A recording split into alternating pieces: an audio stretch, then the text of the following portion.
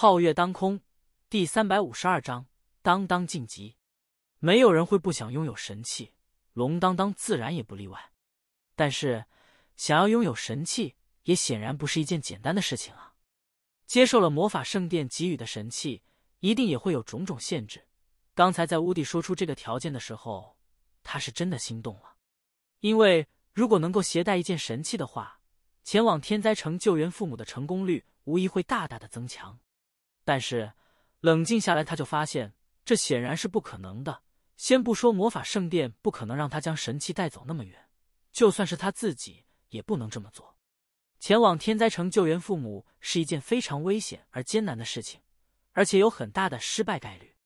如果自己携带神器来到天灾城，将神器陷落，那么对于联邦来说无疑是巨大的打击。他不能为了自己的一己之私这么做呀。所以，当他冷静下来之后，还是摇头拒绝了。对不起，老师，我没办法放弃骑士的身份。我现在已经是一名金晶基座骑士了。骑士圣殿一直以来对我都很好，未来能否成为神印骑士不说，但我现在骑士更多的还是习惯的骑士的职业。乌迪并没有因为他的拒绝而不满，依旧面带微笑的点了点头，道：“确实，对你来说。”或许骑士与魔法师双修真是一条能够走通的路。你那坐骑本身也具有这样的特性，按照你的本心走下去吧。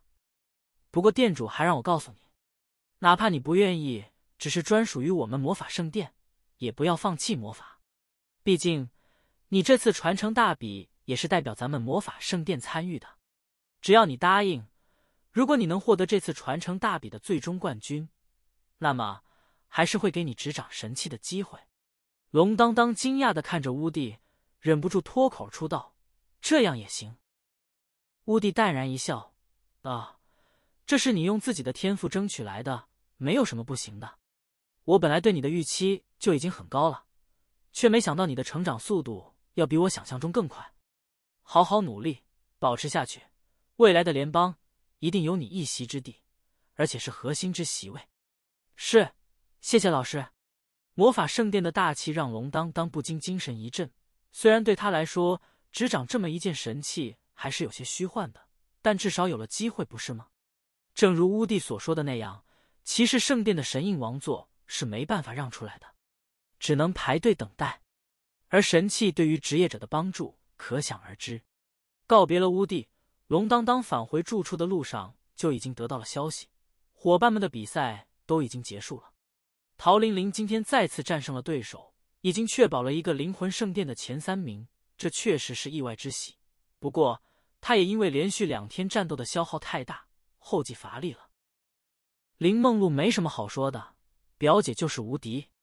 汪长兴成功进入了战士圣殿的前六名，他虽然一直都没说什么，但伙伴们却不自觉的，就是对他非常有信心。龙空空也同样战胜了对手。金晶基座战铠的作用实在是太大了，恐惧哀伤领域加上深渊之处近乎无解。在对手没有金晶基座的情况下，获胜都是时间问题。他那恐惧与悲伤之金晶基座可不是史诗级装备，而是不朽。至此，除了龙当当之外，伙伴们全部晋级各自圣殿的前六名。啥？你输了？哇哈哈！没事的，老哥，以后我罩你啊！一听龙当当输了，龙空空的第一反应却是哈哈大笑。看着他一副欠揍的样子，龙当当淡淡的道：“你最好祈祷不要在决赛圈的时候碰到我，不然我就堂堂正正的揍你一顿。”龙空空眨了眨眼睛：“你输了，不是就被淘汰了吗？”龙当当呵呵，月里解释道：“还没有被淘汰，今天是九进四，剩余的五人还要进行加赛。”决出最后两个名额，团长加赛肯定没问题的。今天也不是一定就赢不了子桑，只是没有拼而已。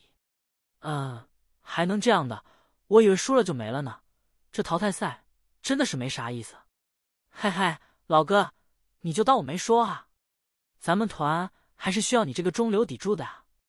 龙当当没有再理会他，而是看向林梦露，道：“梦露，现在大家都进入前六了。”你有没有什么新消息？前六名的排位在各自圣殿内部重不重要？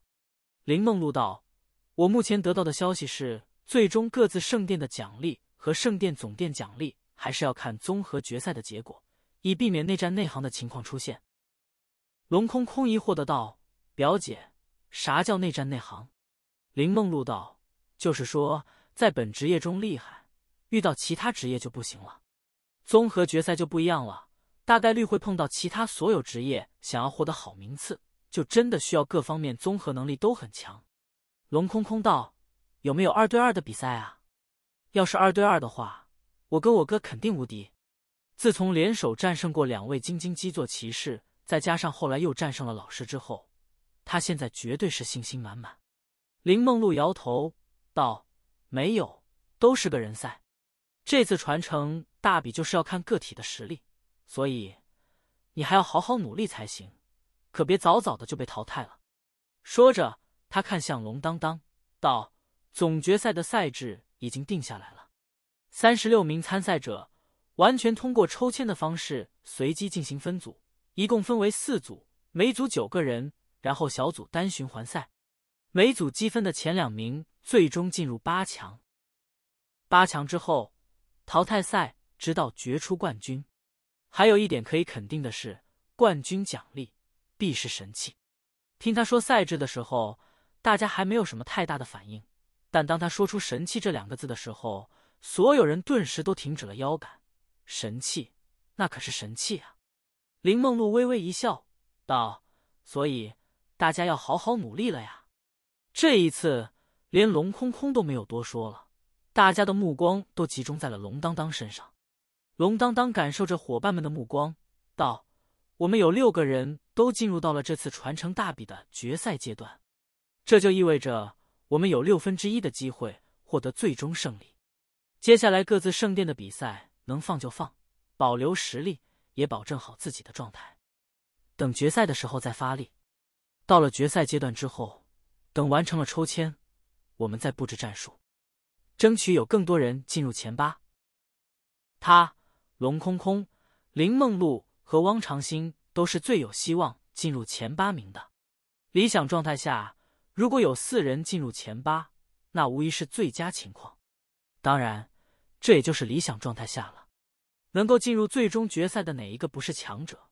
而且，小组赛是循环赛，就杜绝了很多运气成分，只能比拼真正的实力了。圣殿联盟总部某位九阶中年人办公室，三名中年人围坐在一张桌案后，彼此对视着。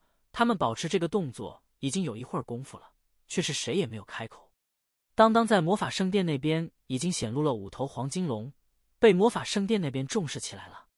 紫天武叹息一声说道：“那夜有些无奈的道，这两个小子的成长速度实在是太快了，已经完全超出了我们原本的想法。他们要走，以我们目前的情况，恐怕是拦不住的。而且父母被抓，换了是谁也控制不了。”但联邦也不可能为了他们两个就在这个时候和亡灵国度发起全面战争。就算真的发起了，也未必能够救回他们的父母。这次传承大比之后，恐怕他们真的要走了。那就干呗，我跟他们一起去。”海季风冷冷的说道。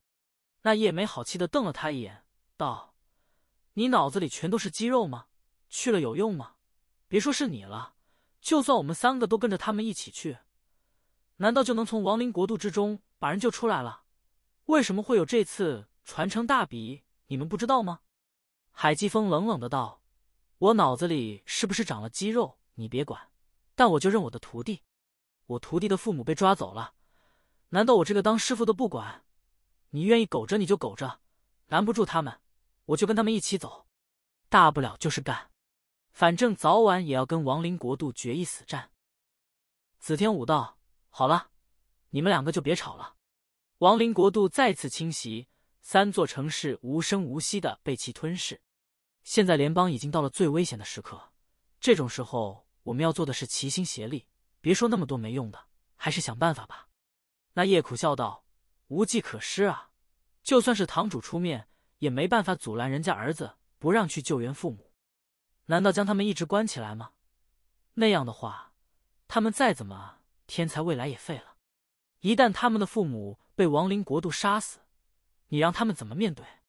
紫天武道：“那你们那边圣堂们怎么说？”那叶道：“就和我说的差不多呗，我们圣堂也没办法。堂主的意思是，如果他们非要去，拦不住的话，就让他们去。两套精金基座是圣堂能给他们的最大支持，否则他们的精金基座考核能那么容易通过吗？如果他们真的能够救回父母，那么他们就是下一代盛唐的继承者。如果他们真的陷落在了那边，紫天武忍不住道：“盛唐就一点力气都不出吗？”那夜道：“具体我不知道，但应该不会完全做事，但也肯定不会分派力量和他们一起深入亡灵国度。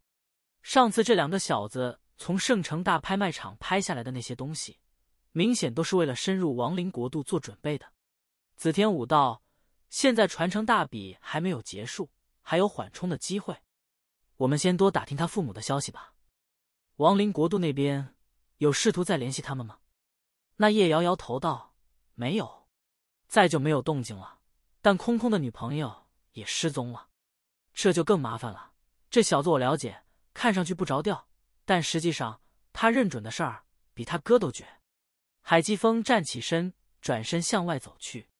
老海，你怎么走了？紫天武无奈的道。海季风头也不回的道：“懒得听你们说这些毫无意义的话，我回去了。”说完，他就那么走了。那叶叹口气道：“他就这脾气，他肯定是已经打定了主意了的。”紫天武道：“先不想那么多了，希望他们能够在这次的传承大比上获得好成绩。如果真的能拿个冠军，按照之前定下来的奖励，能够获得一件神器。一旦有了神器被他们掌控，圣堂对他们的安危肯定会更加重视。”那夜道：“这方面我倒是不担心，他们肯定是会全力以赴的。”这次传承大比本来就应该是他们真正崛起的机会。龙当当再次来到魔法圣殿的时候，正当他准备进行加赛抽签，却被告知他已经不用抽签了，因为他已经进入了魔法圣殿的前六名。是的，不战而胜。这个原因很简单，魔法圣殿对于除了他之外的另外四名参加加赛的选手做了一个调查。问题很简单，他们是愿意和龙当当。通过抽签竞技，还是愿意让龙当当占据一个出现名额先出现，然后他们四个再进行两轮淘汰赛，决出最后一个出现名额。四名加赛选手不约而同的选择了后者。这个选择的原因很简单，因为无论是他们之中的任何一个，包括那位六号种子在内，只要抽中龙当当，都是必败无疑，那就一点机会都没有了。而以龙当当和紫桑流萤战斗的情况来看，他是必然能够获得一个出现名额的，只是不知道会踩着谁出现而已。与其冒着被抽中和他对抗，倒不如让一个名额给他先出现。其他人的实力相差不多，至少也有一个公平竞争的机会，接近均等的机会。所以，龙当当虽然没有进行加赛，但也就这么有些莫名其妙，却似乎又是理所当然的进入到了最终的决赛圈，成为了魔法圣殿这边出现的六人之一。至此。一九一一五八九七猎魔团六人全部出现，进入到了六大圣殿总部传承大比的决赛阶段。如果这三十六人是未来的六大圣堂，他们六个加起来，几乎就相当于一座圣殿的全部高层了。